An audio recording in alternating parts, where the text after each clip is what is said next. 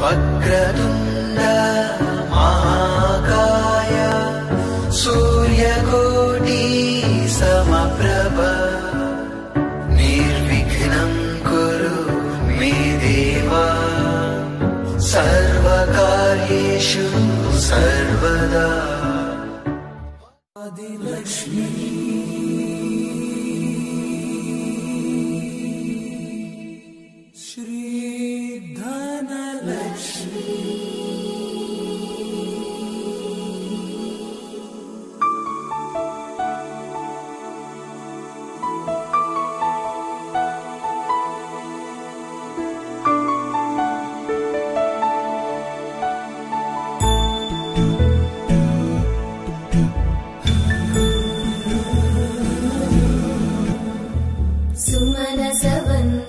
सुन्दरि माधविचन्द्रसहोदरिमये मुनिगणवन्दित मोक्षप्रदायिनि मञ्जुलवासि वेदनुदे पङ्कजवासिनि देवसुपूजित सद्गुणवर्षिणि शान्तियुते।